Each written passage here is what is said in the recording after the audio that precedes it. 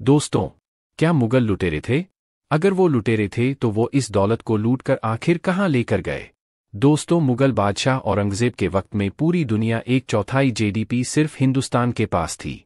जो हैसियत आज विकसित देशों की है, उससे कहीं ज़्यादा उस वक्त हिंदुस्तान की हैसियत पूरी दुनिया में थी। अकबर के शासनकाल में हिंदुस्तान का घरेलू उत्पाद ब्रिटेन की महारानी एलिजाबेथ के साम्राज्य से कहीं गुना बेहतर था।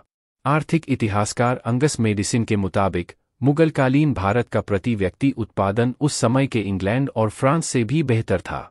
शाहजहां के वक्त में हिंदुस्तान का आर्किटेक्चर पूरी दुनिया में सबसे चरम पर था, और उस वक्त हिंदुस्तान का आर्किटेक्चर उतना ही मशहूर था, जितना कि आज दुबई का है। दोस्तों, सन 1640 में एक रुपए की कीमत आज के भारतीय रुपए से लगभग 500 गुना ज़्यादा थी।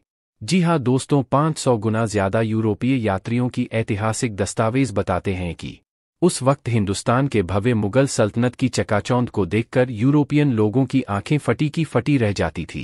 उस वक्त लखनऊ, दिल्ली और हैदराबाद को वो दर्जा हासिल था जो आज पेरिस और न्यूयॉर्क को को है। सन 1947 के बाद सिर्फ़ हैदराबाद रियासत के निज़ाम के पास अपने आखिरी वक्त में सब कुछ लूट चुका था। तब भी उनके पास हिंदुस्तान की पूरी जीडीपी का चार गुना दौलत को हैदराबाद के आखिरी निज़ाम ने देशहित के लिए पाकिस्तान से युद्ध के टाइम तत्कालीन। प्रधानमंत्री लाल बहादुर शास्त्री को सौंपी दी, जो कि पाँच ही टन सोना हैदराबाद एयरपोर्ट से प्लेन में भरकर ले जाया गया था। लाल किला, ताजमहल, आगरे का किला एक से बढ़कर एक ऐतिहासिक इमारतें जो आज हिंदुस्तान की शान है।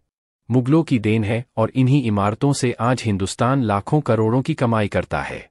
दोस्तों, हम लोगों को शर्म आनी चाहिए। जिस मुगल अंपायर ने हिंदुस्तान को इतना कुछ दिया, हिंदुस्तान का सर फक्र से ऊँचा कर दिया। जिन्होंने दुनिया के साथ अजूबों में हिंदुस्तान को जगह दिलाई, जिन्होंने हिंदुस्तान की जेडीपी को इतना काबिल बनाया कि लोग फक्र कर सकें। आज हम उस मुगल सल्तनत को लुटेरे कहते हैं। आप भी कमेंट बॉक्स में अपनी राय ज़रूर बताएँ। साथ ही वीडियो को लाइक, शेयर और सब्सक्राइब करना ना भूले।